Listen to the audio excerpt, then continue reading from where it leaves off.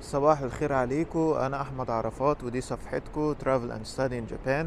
الصفحة اللي بنتكلم فيها عن آخر أخبار المنح وحابين نزف ليكم خبر جميل جدا وهو خبر نقلا عن آه، صفحة السفارة اليابانية في القاهرة.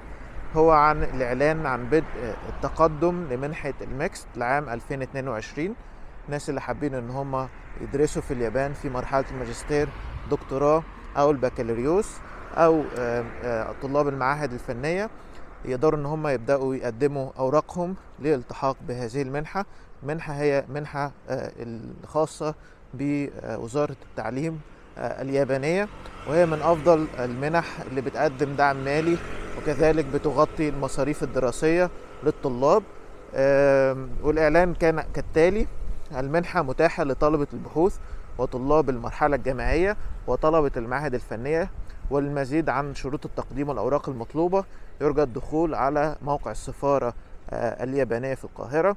آخر موعد للتقدم بالأوراق هو 18 مايو بالنسبة لطلبة البحوث و 23 مايو بالنسبة لطلاب المرحلة الجامعية وطلبة المعاهد الفنية. طبعا دي آه، واحدة من أفضل المنح اللي إحنا كنا كتير بنتكلم عليها.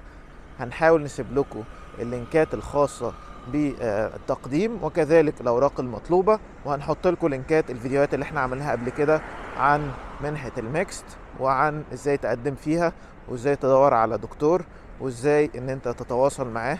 ومعلومات كتيرة هنحطها في ال description وفي ال comment ات تحت في الفيديو. استنونا.